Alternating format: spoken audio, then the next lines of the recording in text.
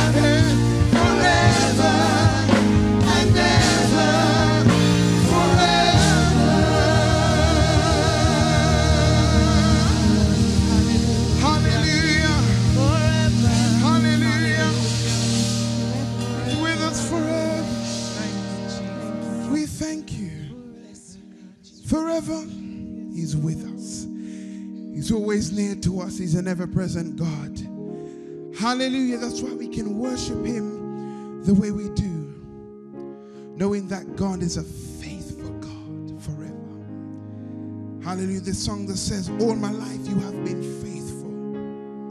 All my life you have been so, so good. With every breath that I am able, I will sing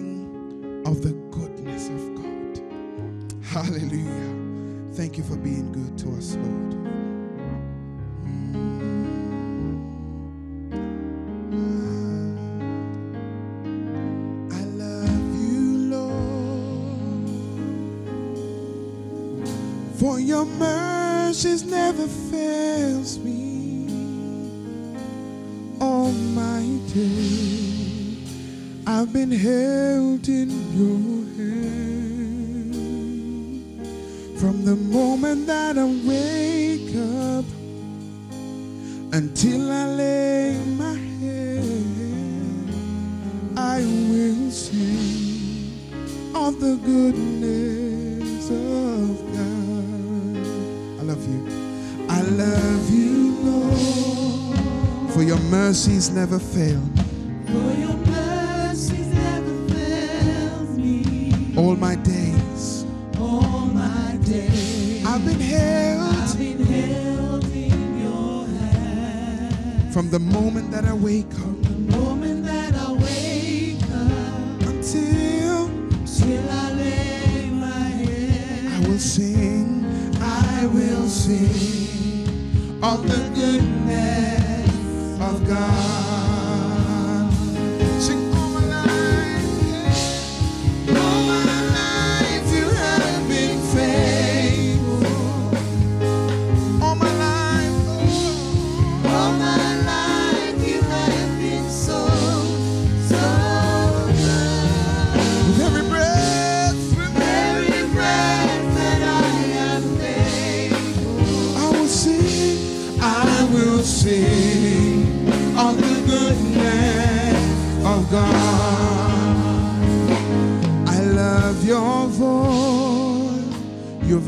through the fire.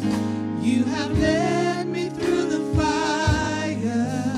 Darkest night. Darkest night. You are close. You are close like no other. Known you as a father. Known you as a father. I've known you as a friend. I've known you as a friend. And I have lived. And I have lived. In the good. In the good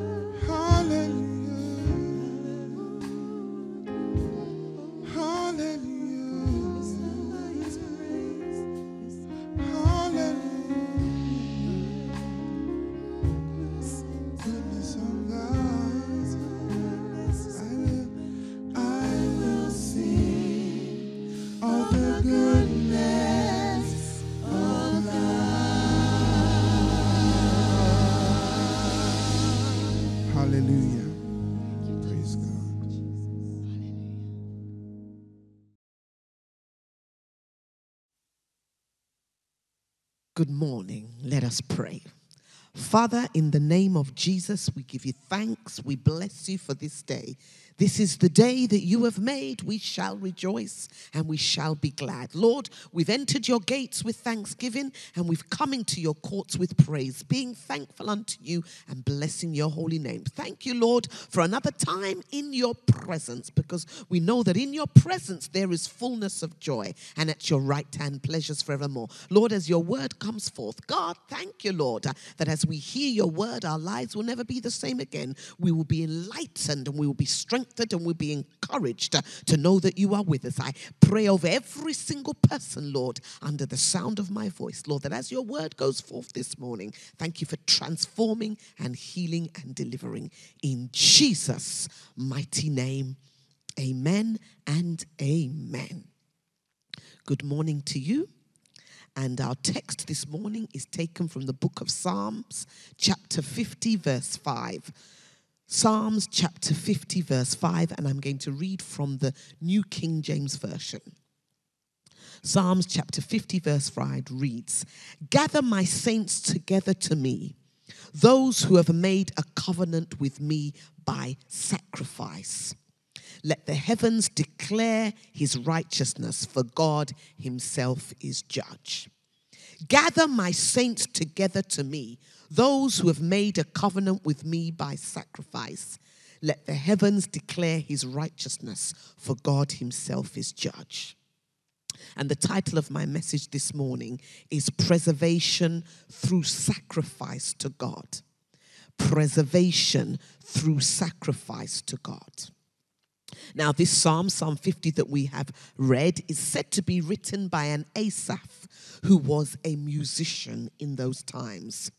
There was an Asaph in David's time who was one of David's chief musicians, and his family appear to have continued in their line of music for many generations to come.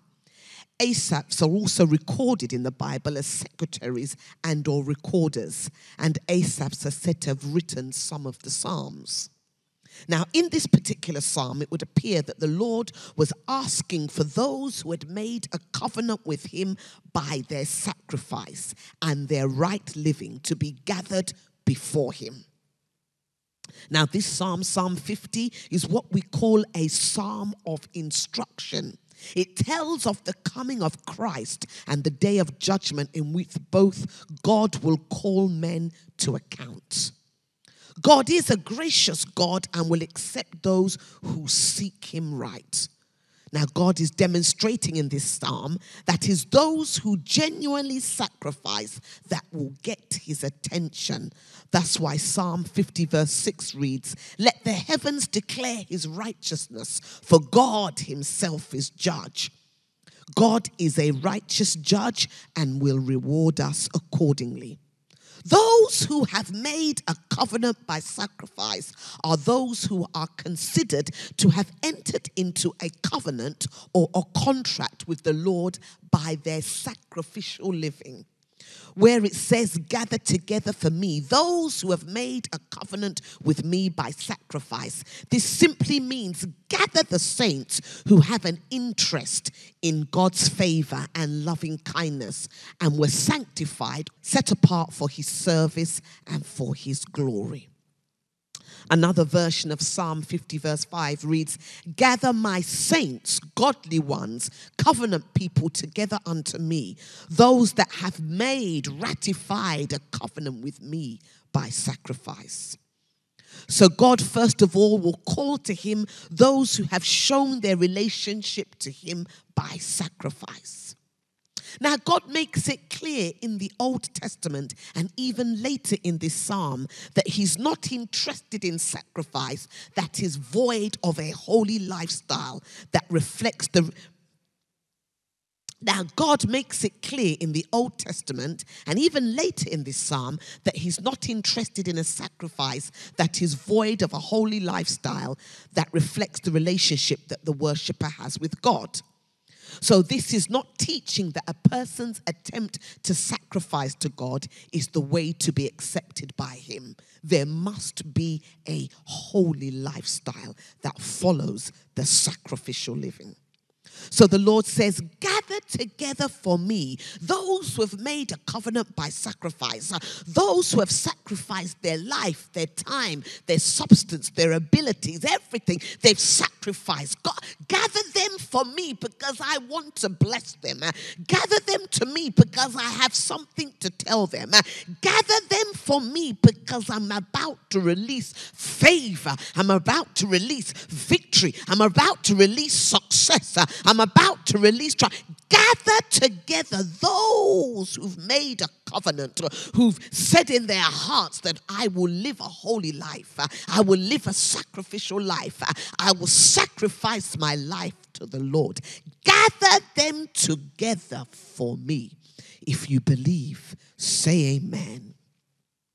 The Passion Bible reads Gather all my lovers, my godly ones whose hearts are one with me, those who have entered into my holy covenant.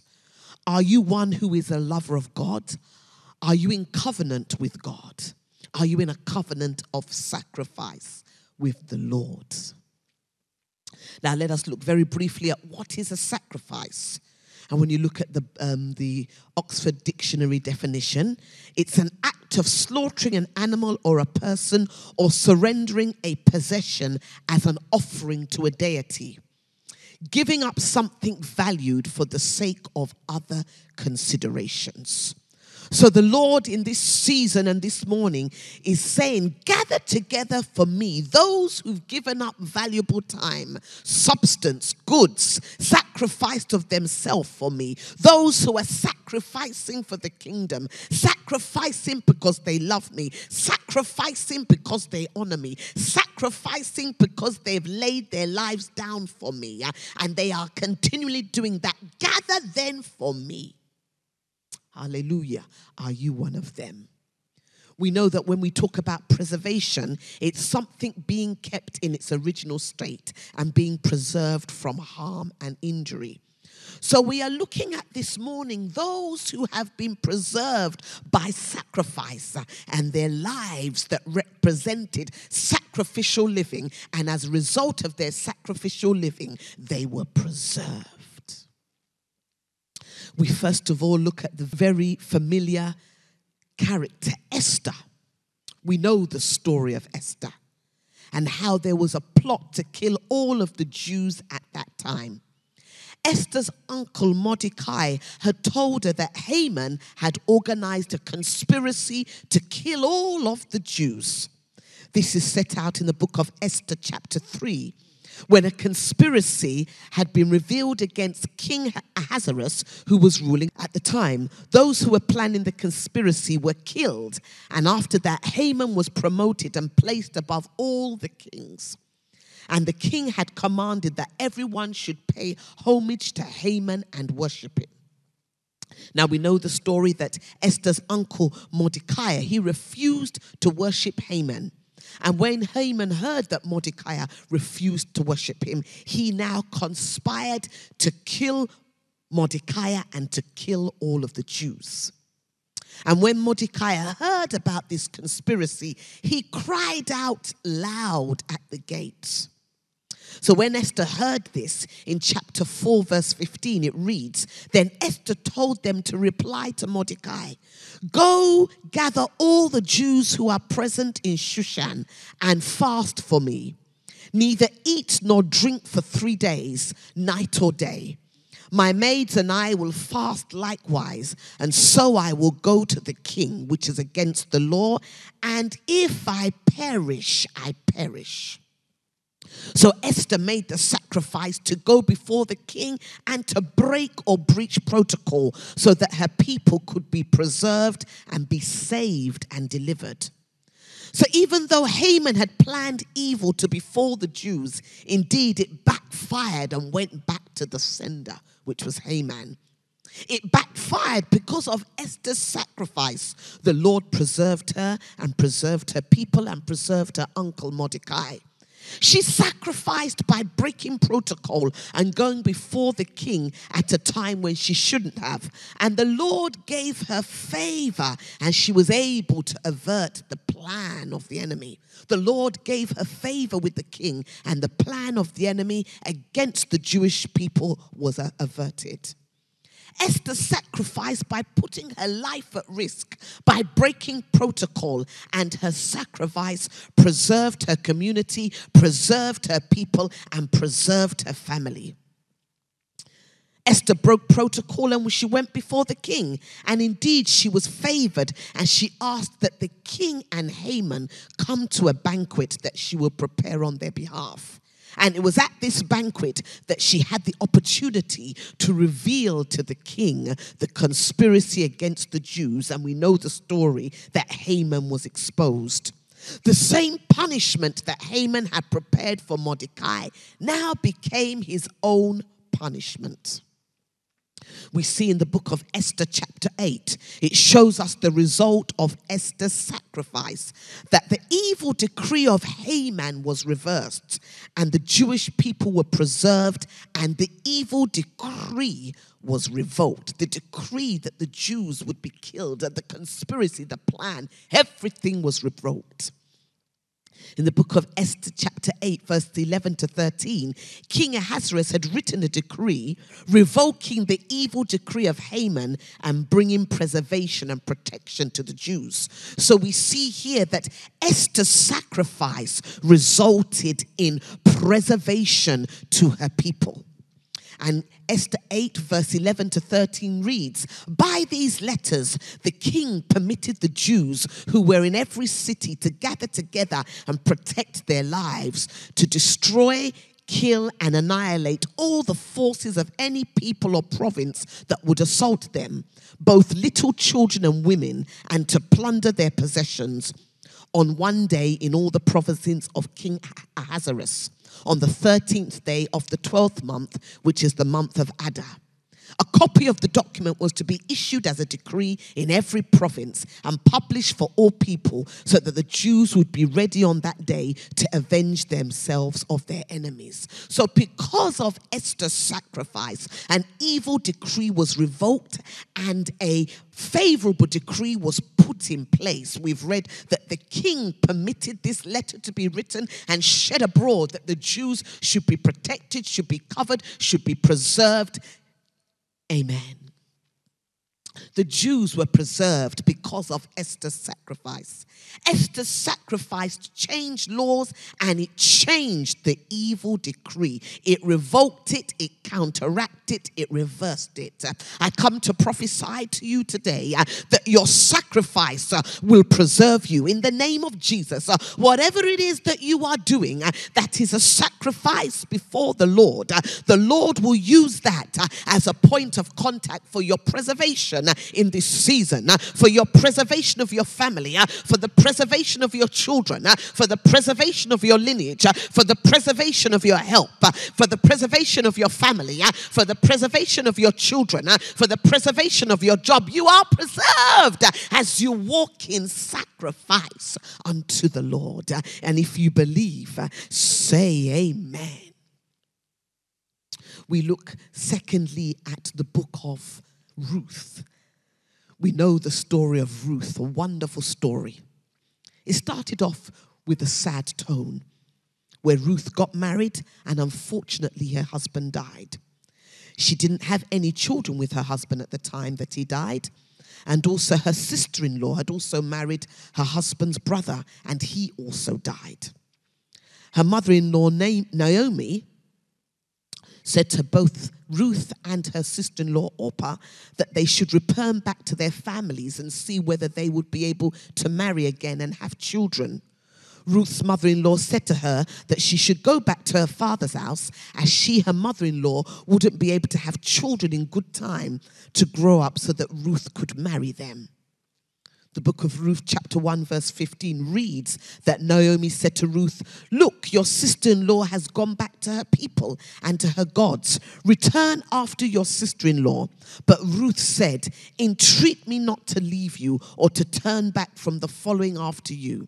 For wherever you go, I will go, and wherever you lodge, I will lodge. Your people shall be my people, and your God, my God.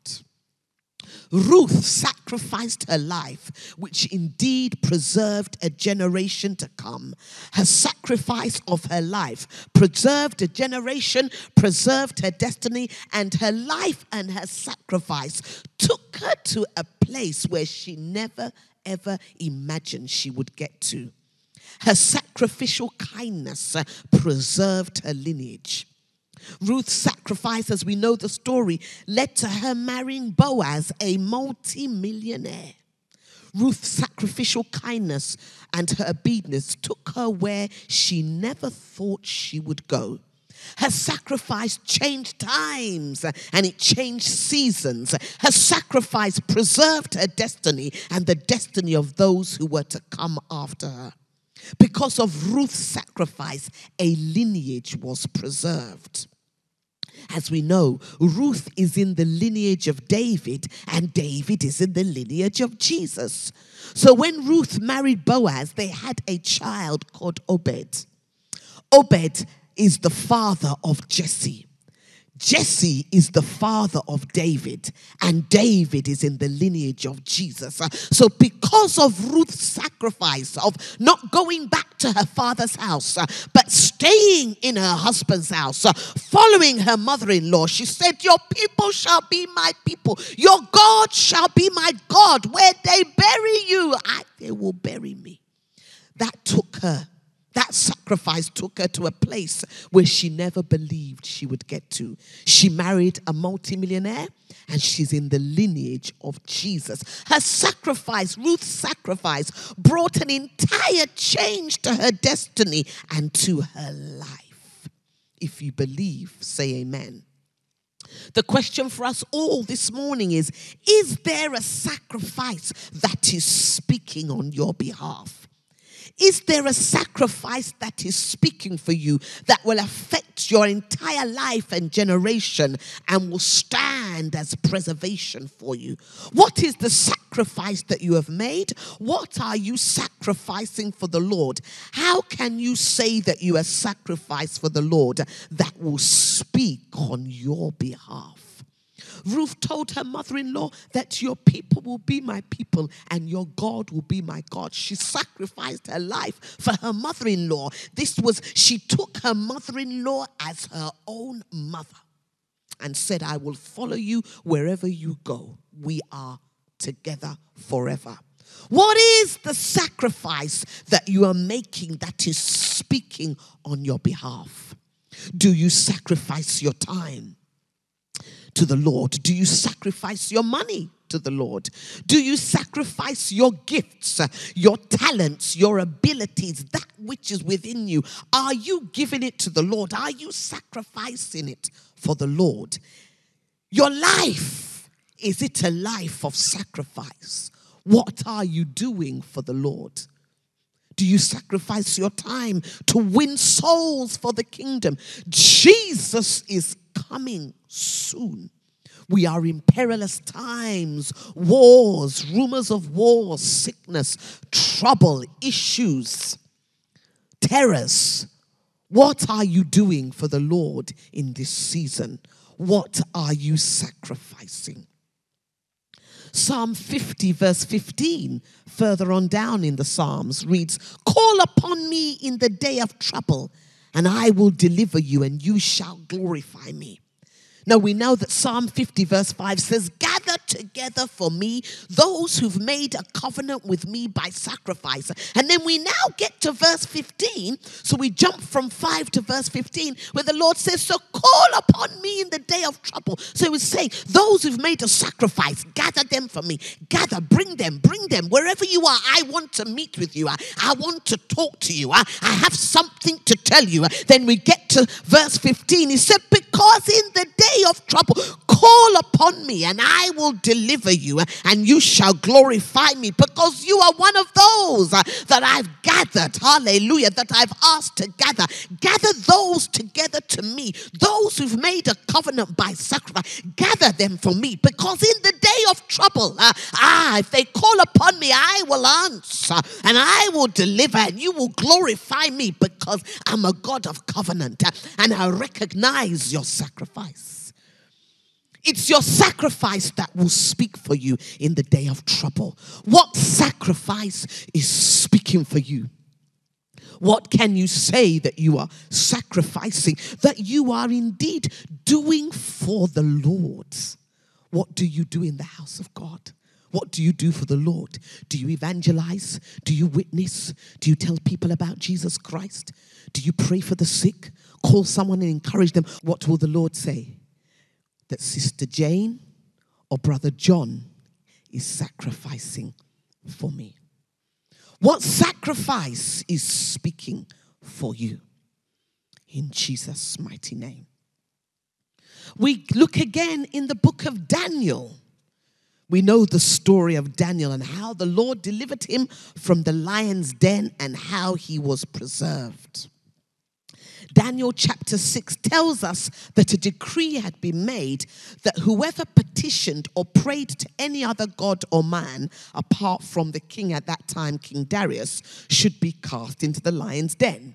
And King Darius signed and sealed this decree. Daniel chapter 6, verse 10 reads Now, when Daniel knew that this writing was signed, he went home, and in his upper room, with his windows open toward Jerusalem, he sat down on his knees three times that day and prayed and gave thanks before his God, as was his custom since early days. So we see here that Daniel sacrificed his life to prayer. And it was his prayer life that preserved him in the time of trouble. When it was found that Daniel was going against the laws of only worshiping the king for 30 days, a plan was made to throw him into the lion's den. But because of Daniel's solid and sacrificial prayer life, praying all the time, his prayer life preserved him in the day of trouble. Because of his sacrificial prayer life, he was preserved in the day of trouble. His sacrifice preserved him. Wherever you are, just lift up your hands and say, Lord, let my sacrifice preserve me in the name of Jesus.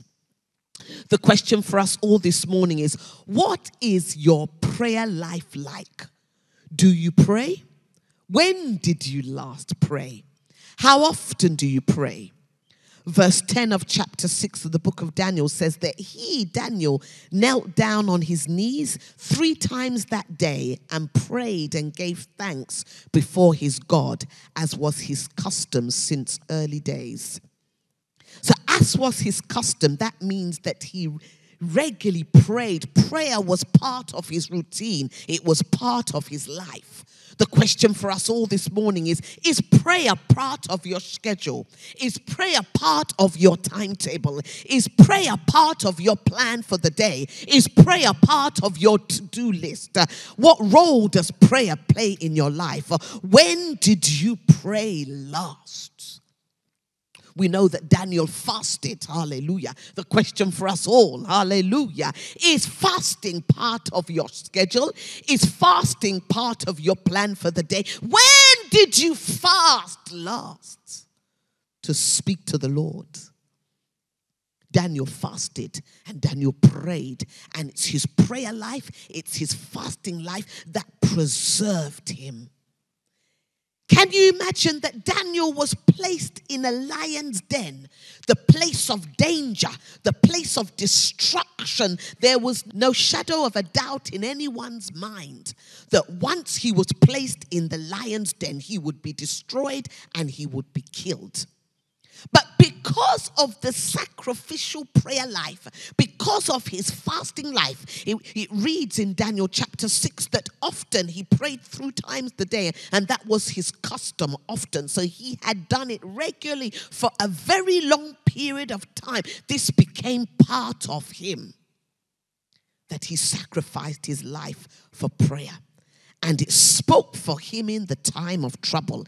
His sacrificial prayer life preserved him and it preserved his life. He was not consumed and he was not destroyed.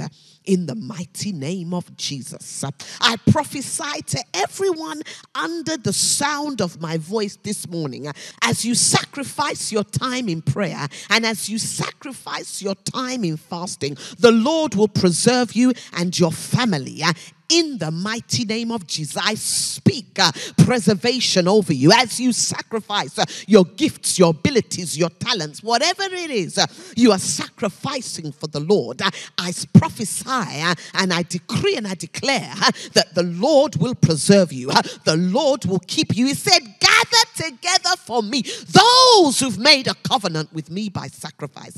And I prophesy this morning as you make a covenant with the Lord by sacrifice, you will be preserved and your generation will be preserved in the name of Jesus. Daniel chapter 6, verse 11 speaks of the conspiracy against Daniel. It talks of how they conspired to put him in the lion's den. I encourage you this morning is there a conspiracy against you? Are forces coming against you? Is the enemy raging a war against you? Is there a battle against you? Is there a problem yet to be solved? Is there a sickness yet to be healed?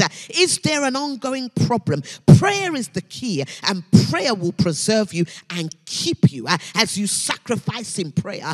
Pray early in the morning, uh, pray at noonday, uh, pray in the evening as you sacrifice in prayer. In this season, the Lord will answer you, the Lord will preserve you. We are in a season of prayer. I heard a preacher say that prayer in this season is raining prayer is raining. The prayer bells are ringing. People are praying early in the morning 5 a.m., 6 a.m., 7 a.m., noonday, midnight. They're sacrificing their time in prayer, and the sacrifice is preserving them and is preserving the nations. I decree and declare that as you rise up and as we as a people, as God's people, as we rise up as an army to pray, God will preserve us. God will preserve our nation. Whichever nation you are watching from, as you rise up early and pray, God will preserve the nation. Your family, your children, there is preservation in the name of Jesus. Uh, we see so much happening at this time uh, youth stabbings, uh, wars, and crime. It's prayer that will preserve and that will keep. So as you pray, know that the Lord will preserve you and your children. In Jesus' mighty name, if you believe, say amen. When Daniel was thrown in the lion's den, the king said to Daniel, Your God, whom you serve continually, he will deliver you. And without a doubt, the Lord delivered and preserved Daniel. I encourage you, this is the season to build or to rebuild your prayer altar. And the Lord will preserve you as you do so in the mighty name of Jesus. If your prayer altar has become desecrated, I encourage you in this season, it's a season to rebuild that prayer altar, rebuild that time in prayer, rebuild that time in fellowship, because it's in His presence, hallelujah, that you will gain strength strength to stand, strength to fight, and strength to go on. In Jesus' mighty name. If you believe, say amen. We read the book of Acts, chapter 10, verse 1 to 4. We hear of the man Cornelius. And I read for you very quickly. There was a certain man in Caesarea called Cornelius, a centurion of what was called the Italian regiment, a devout man and one who feared God with all his household, who gave alms generously to the people and prayed to God always. Verse 3 About the ninth hour of the day, he saw clearly in a vision an angel of God coming in and saying to him, Cornelius. And when he observed him, he was afraid and said, What is it, Lord? So he said to him, Your prayers and your alms have come up for a memorial before God. So we see here that Cornelius, he was said to be a devout man, a man who gave generously to people and prayed to God always and that as he had sacrificed and as he had given many a time, year after year, time after time, given financially, given alms, helped people, his giving came up before God as a memorial that literally his sacrifice, hallelujah, invoked a visitation and a preservation for his generation. The Lord was touched, hallelujah, by his giving, uh, by his alms. He said he was a devout man who gave generously to the people and prayed to God always. And the ninth hour of the day, an angel came down and visited him and said, Your prayers and your alms have come up before God as a memorial. I prophesy to you this morning uh, that as you give sacrificially, you give alms, uh, and you do good, that it will come up before the Lord as a memorial. And the Lord will use that as a form of preservation, hallelujah, on your behalf in the name of Jesus. Cornelius' sacrifice invoked a visitation. We are in the days of his power. And in these days of his power is seasons of visitation. And God visits those, hallelujah, who have sacrificed to him. Are you one who is sacrificing to the Lord? Know that it is your time and it's your season of visitation. The Lord is getting ready to visit your house as you sacrifice in prayer, as you sacrifice in fasting, as you sacrifice your gifts, your talents, your abilities, your money. God is getting ready to visit you. He visited Cornelius, and I prophesy to you uh, that your season of visitation has come, uh, and that as He visits you, hallelujah, there will be a generational preservation in the name of Jesus. The book of Second Samuel, chapter 8, talks about David being preserved wherever he went. And because of David's lifestyle, his sacrificial lifestyle, the Lord spoke a word to Nathan and said to Nathan to tell David that I'm going to preserve your generation. Because of David's sacrifice lifestyle, he preserved his generation. I prophesy to you this morning that as you give your life to the Lord, and as you give your gifts and your abilities and your talents, you sacrifice in prayer, you sacrifice before the Lord, the Lord will visit you, the Lord will preserve you in the mighty name of Jesus. If you believe, say amen where you are. And now I would like to say if you are here this morning and you do not know Jesus Christ as Lord and Savior, Jesus is coming soon. And the Lord is preserving those that are His. So I encourage you that if you do not know Jesus Christ as Lord and Savior, say this prayer after me. Say, Father, in the name of Jesus, today I give my life to you. Lord, I want my name to be written in the Lamb's book of life. And today I ask you to forgive me of all my sins. Wash me with your blood. Cleanse me and purify me and sanctify me. Take out from me anything that's not of you. And today, Lord, I accept you as Lord and Savior in Jesus' mighty name. Amen and amen. If you have said that prayer, you've now joined the household of faith and you have joined the household of those who are preserved. The Lord will keep you and the Lord will preserve you in the name of Jesus. Now, I want us just to pray a few prayer points. The first prayer point is you're going to say, Lord, help me to live a life of sacrifice to you in the name of Jesus. The prayer point simply is, Lord, help me to live a life of sacrifice to you in the name of Jesus. Let us begin to pray. uh. And Father, right now, we ask you uh, in the name of Jesus, Lord, that we will live a life of sacrifice to you. uh. Lord, sacrifice in fasting, uh, sacrifice in prayer, sacrifice of our abilities, sacrifice of our talents, uh, sacrifice, God, uh, Lord, of our gifts, of our money, of our substance. Uh, Did you not say in Psalm 50, verse 5, uh, gather together for me those who've made a covenant with me by sacrifice? Lord, we bring ourselves before you this morning and we say, God, we are those, Lord, who want to live sacrificial living. We want those who are going to be those who are gathered before you as those you recognize who have sacrificed. Lord, help us to live sacrificial before you, God. Sacrificially in our in our prayer life, uh, sacrificially in our giving, uh, sacrificial, God, in our gifts and our talents and our abilities, in winning the lost at any cost, sacrificing in your kingdom. Father, Lord, let the anointing of sacrifice uh, come upon us, Lord, that we can be used for your glory in Jesus' mighty name. And secondly, you're just going to say, Lord, preserve me, preserve my family, and preserve my generation in the name of Jesus. Let us begin to pray. Uh, Father, right now we ask God that you will continue to keep us and preserve us. Uh, Lord, in this season and this time, uh, perilous times that are before us, Lord, we ask God for your preservation. Lord, we ask that you will keep us. Lord, that we ask that you will keep our families, our children. Lord, the youth who are going out every day, going to school. Lord, we ask God, preserve our children uh, from knife crime and from turbulence and from violence. Uh, God, we ask for your preservation. Uh, preserve our husbands and our wives and our children and our family members. Uh, God, we ask for your preservation. Uh, Lord, you preserved Ruth. Uh, Lord, you preserved Daniel. Lord, you preserved David. Lord, you preserved Esther. God, we ask for your preservation. Lord, we pray that, Lord, even in our daily lives, wherever there's conspiracies, wherever there's problems, wherever there's difficulties, uh, wherever there's sicknesses, God, we ask, God, that by your power, that you would preserve us. You said, gather together for me those who've made a covenant by sacrifice.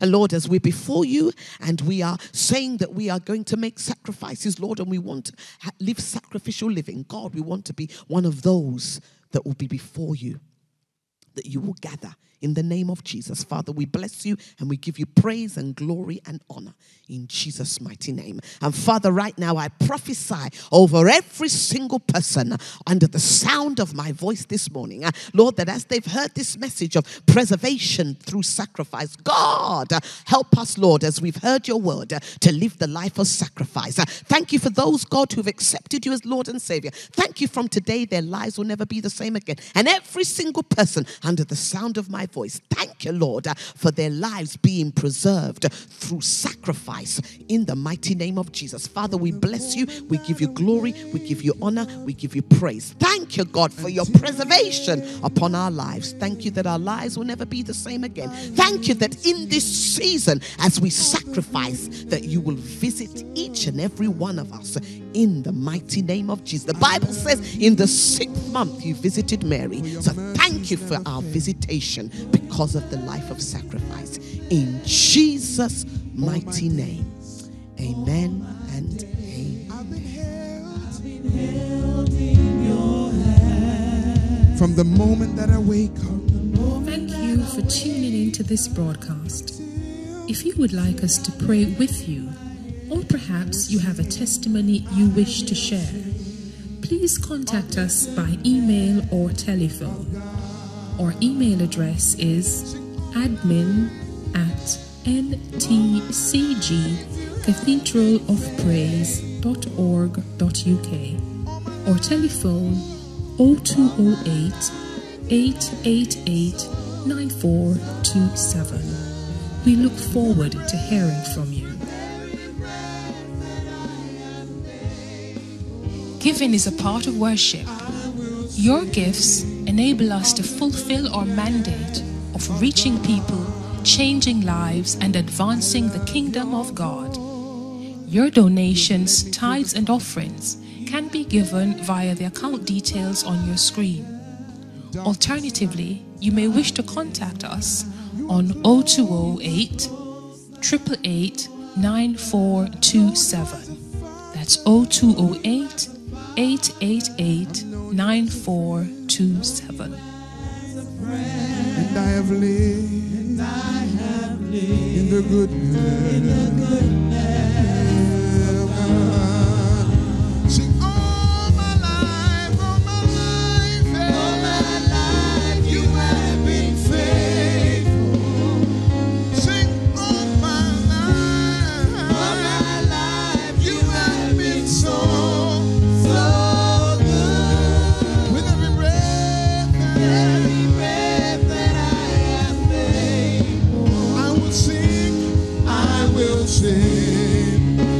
Goodness of God.